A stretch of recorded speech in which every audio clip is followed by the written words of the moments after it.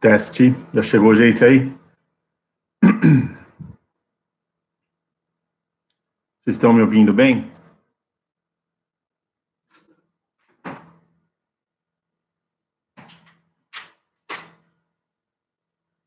Vocês estão me ouvindo? Já, já. Boa tarde, Josimar. Vai falando aí se vocês estão me escutando bem.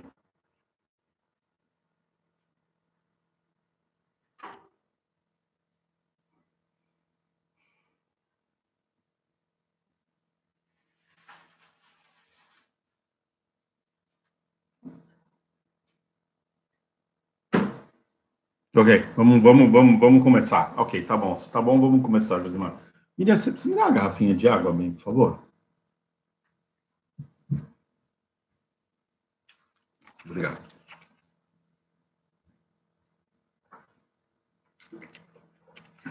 O pessoal tem me perguntado uh, sobre, sobre indústria 4.0, né? E eu vou compartilhar com vocês algumas coisas que nós que nós estamos que nós estamos fazendo aqui no, nos Estados Unidos, particularmente na Califórnia.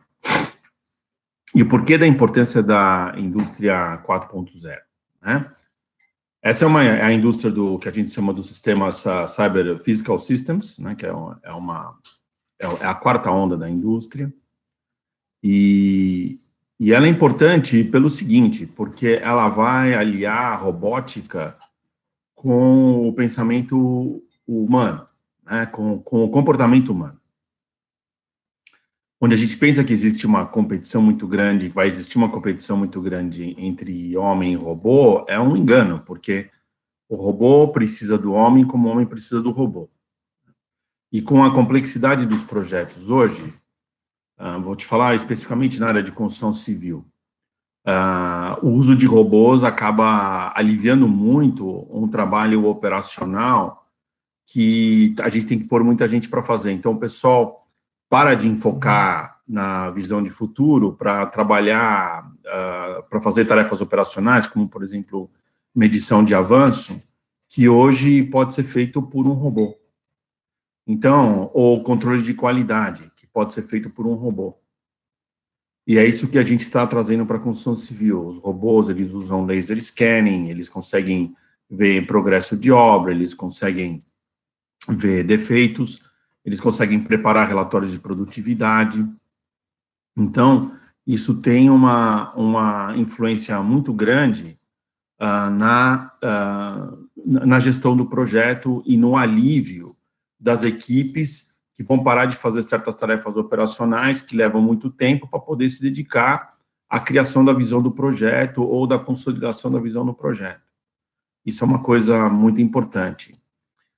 É, mas também requer que a gente faça algumas coisas, que a gente tenha um sistema de base de dados muito bem estruturado, porque agora essas informações elas começam a ser mais sofisticadas, elas vêm em grande quantidade, e a gente tem que ter muito cuidado para poder transformar essa informação em compreensão, porque pouca gente sabe usar a informação, sabe ou sabe o que o que coletar. Né? Não é sair coletando tudo, é coletar aquilo que é relevante. Então hoje, ah, para você começar um projeto, você tem que fazer toda uma base de uma, um planejamento para a base de dados, para que você possa uh, identificar a informação que é relevante e para transformar essa informação em compreensão. E muitas vezes as pessoas ainda não estão acostumadas, elas acham que quando você preenche um documento, ou quando você uh, uh, checa alguns boxes né, na, naquele documento, eles acham que isso é, é perda de tempo, quando na verdade é, é linkar a informação a uma linha do tempo esse é um, é um grande problema que a gente tem nos projetos hoje. Você tem muita informação, mas ela é compartimentada, né? Ela, ela é toda, de fato, não é só compartimentada, ela é fragmentada, é, porque não tem a linha do tempo, né? Ela é compartimentada porque ela, ela não integra diferentes áreas, algumas coisas não se comunicam. E ela é fragmentada porque ela não está na linha do tempo. Então, Uh, hoje, se você quiser trazer a indústria 4.0 para o seu projeto, você tem que fazer uma base de dados, você tem que ter um planejamento de como você vai estruturar essa base de dados, você tem que ter uma disciplina para fazer o preenchimento correto da informação, né, para que ela, aliada junto com a informação que vai ser coletada pelos robôs, ela, ela se torne uma, é, intro, é, ela possa ser compreendida. E a partir daí você faz a melhoria, né? Você aprende dela e você faz melhoria. E ao mesmo tempo você começa a criar o que a gente chama uh, cognitive computing. Essa base de dados você pode criar uh, uh, programas que vão antecipar aquilo que pode acontecer ou aquilo que vai acontecer no projeto, única e exclusivamente, uh, única e exclusivamente uh, na, na, com a base de dados que você tem, né? O Paulo está perguntando se você tem um exemplo prático de utilização de indústria 4.0 em canteiro de obras. Eu estou desenvolvendo agora, a gente está fazendo um trabalho com robôs, é a primeira vez que a gente está fazendo, e logo, logo a gente vai ter informação né, eu já vou ter informação para compartilhar. Com o HoloLens, nós já estamos fazendo, né, que é computação cognitiva, a HoloLens de controle de qualidade é um negócio impressionante. Os problemas que a gente está tendo é que, como, por exemplo, para você carregar toda a informação de um projeto em 3D numa HoloLens, ele é, ele é muita informação, ela não aguenta. Então, o que você tem que fazer? Você tem que compartimentar o projeto em, em, em pedaços, tem que dividir em pedaços, e aí, onde você vai na área para trabalhar com a HoloLens, você pega aquela parte e você faz o upload na HoloLens para você poder para você poder trabalhar, né? Então, é, um, é uma coisa que a gente está fazendo, e a, e a gente está decidindo agora o que, que a gente vai ver holograficamente. Será que a gente vai que a gente quer ver tudo? Ou a gente quer só ver um pedaço que é importante para fazer a coordenação de projeto? Para controle de qualidade, a gente quer fazer controle de qualidade de tudo? ou a gente quer fazer controle de qualidade dos sistemas mecânicos, que são importantes, dos sistemas de incêndio, que são importantes, mas às vezes a elétrica, uma tubulação não é tão importante, porque ela tem mais flexibilização, né? Então a gente está trabalhando. Com relação ao HoloLens, Paulo, eu posso falar para você que a gente tem tido um sucesso relativo, porque são coisas novas. A gente tinha, a gente tem alguns problemas de com HoloLens com relação à coordenada. Às vezes ela não captura a coordenada direito, então o que você vê não está exatamente naquele lugar, tem um desvio. Serve para coordenação, mas não serve para marcação. Então, esse problema já está sendo resolvido uh, com essa nova HoloLens, que, que vai ser lançada agora, já, já, já lançaram a, a nova versão, uh, então esse problema vai ser, vai ser corrigido. Mas é uma, uma, uma filosofia de gestão, né, que é uma filosofia com uma tecnologia de gestão extremamente uh, importante e que certamente vai modificar a maneira como a gente faz gestão, não só de projetos, é gestão em geral, gestão em geral, em hospitais, como você usa HoloLens para cirurgia, como você faz simulação, simulação de voo, é, é muita coisa. Então, está abrindo um mercado muito grande uh, em termos de Cyber Physical Systems, e como eles se conectam, como tudo se conecta, que, que vai mudar, ou e já está mudando a maneira como a gente faz gestão. Né? Então, Paulo, eu não sei se eu respondi a tua pergunta, mas é, é, mais, é, mais, é mais ou menos por aí onde a gente está está trabalhando. Né? Agora, no aeroporto de São Francisco, a gente está querendo uh, realmente dar um passo adiante com as lentes, com as HoloLens, e já começar a pensar em robôs, né? Quando a gente conversou com o pessoal, a primeira coisa que eles falaram, não, não, nós não vamos ter robô aqui, porque eles acham que, que é uma competição, né? Nem pelo pessoal do aeroporto, é o pessoal das empresas que estão fazendo a gestão do aeroporto. Eles acham que o robô vai substituir as pessoas. Quando, pelo contrário, o robô vai ser um gerador de empregos, né? Porque você pode uh, levar a gestão para um nível completamente diferente, né, para um nível de gestão de futuro. Né, a gestão de qualidade, quando você faz gestão de qualidade, por exemplo, é a gestão de passado, a tarefa já está executada, você só vai ver se ela foi executada bem ou mal. Você também tem a, a gestão de qualidade antecipada, que a gente chama built-in quality, né, que são checklists, mas uh, uh, os, robôs, os robôs podem ajudar você, podem ajudar você a fazer isso.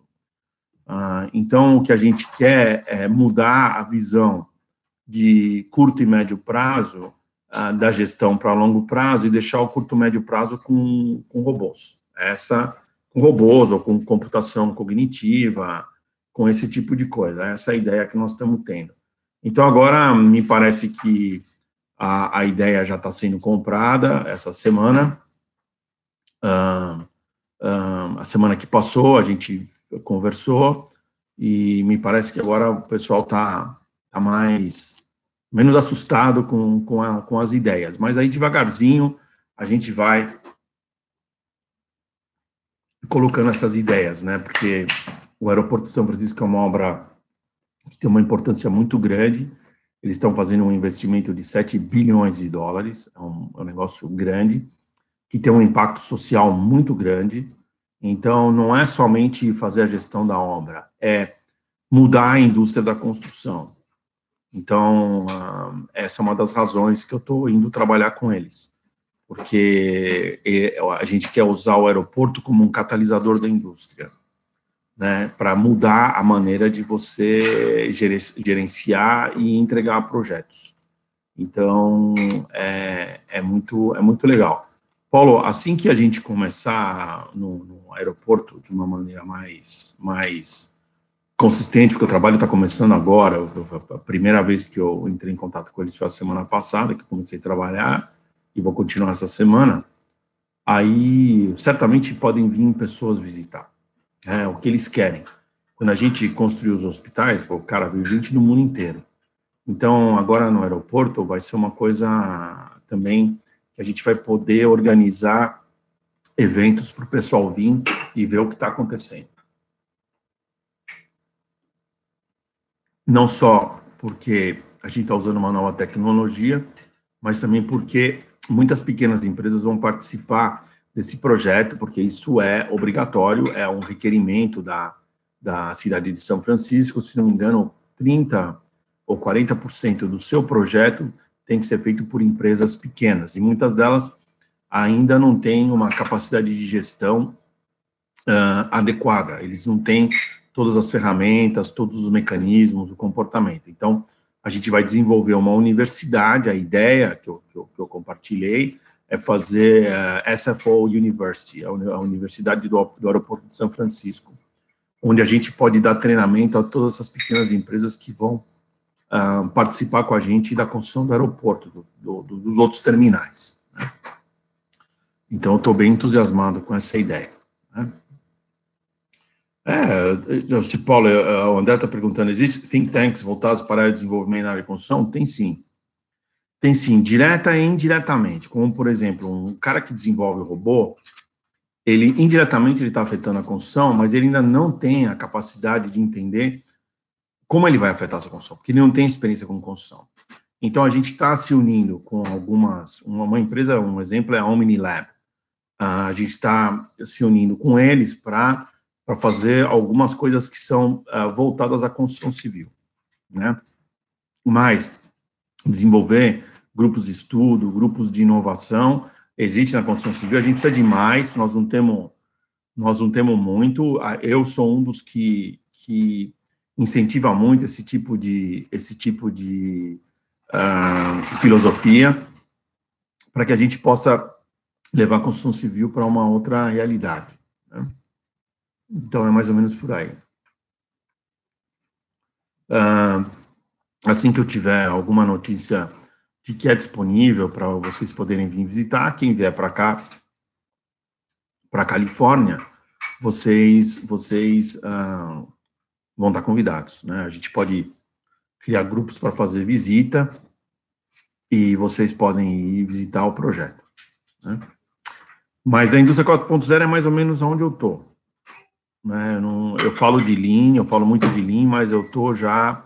Uh, Lean acaba sendo uma coisa já que é given, que é uma coisa que vai acontecer de uma maneira ou de outra, né? A maneira de você se comportar. Mas agora a gente tem que começar a trazer outras, outras uh, tecnologias para a Bahia de São Francisco, para a Califórnia, porque para a construção civil, porque a gente está no berço da inovação o que eu também comentei na reunião, falei, é uma vergonha, a gente não está na ponta, a gente tem que não só estar tá na ponta, a gente tem que estar tá criando novas maneiras, porque a gente está com uma obra que tem um recurso altíssimo, que tem uma, um impacto social muito grande e está cercada, está no, tá no berço da inovação. Então, o aeroporto tem a obrigação, nós que estamos trabalhando no aeroporto, nós temos a obrigação de entregar um projeto que vai não somente beneficiar São Francisco uh, e a Bahia de São Francisco, mas vai beneficiar a construção civil na Califórnia e nos Estados Unidos pela nova maneira que nós vamos uh, administrar e gerenciar esse projeto. Isso é uma coisa que eu tô que eu estou muito enfocado.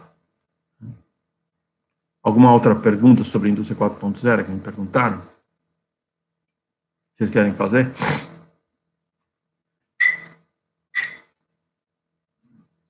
Uma outra coisa? Deixa eu ver se é alguma outra coisa aí. Não? Então é isso aí, gente. Então, uh, eu vou fazer essas lives menores para a gente não ficar uh, muito tempo no, conversando. Uh, mas mas eu vou fazendo assim. Me perguntaram como eu faço gestão do meu tempo. Eu vou fazer uma outra live que é sobre gestão de tempo, sobre o que eu faço. Assim, a gente pode discutir. E eu prefiro fazer live porque aí não tenho que fazer upload, cara. Isso já fica upload automático. Então, eu estou optando por isso, né? Mais mesmo por não ter tempo de fazer uh, vídeo e eu tenho um pessoal que vai fazer para mim todo em inglês, que eu, que eu, já comentei, que domingo agora eu já estou vendo os primeiros vídeos de apresentação, e, mas isso é uma outra história. Agora, aqui eu faço live e vou fazendo o, o, o upload automático, eu não tenho que fazer isso duas vezes. Bom, mais alguma coisa vocês querem perguntar? Sobre a indústria 4.0? Não? Então tá bom, gente. A gente vai se falando, tá ok? Um, um bom sábado para todo mundo. Um abraço.